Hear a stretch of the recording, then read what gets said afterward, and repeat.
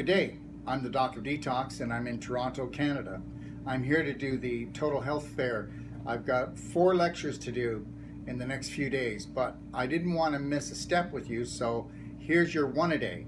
And that is, is that all of us are running a subconscious reality map. Now, what does that mean?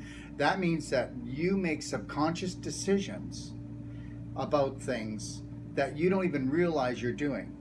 If you're feeling pain or suffering and you feel like you're caught in a rut, if you'd like to learn what a subconscious reality map is, then you want to join us April the 20th, where I'm going to unravel all this so that you can start reprogramming your subconscious mind to live a healthier, happier life.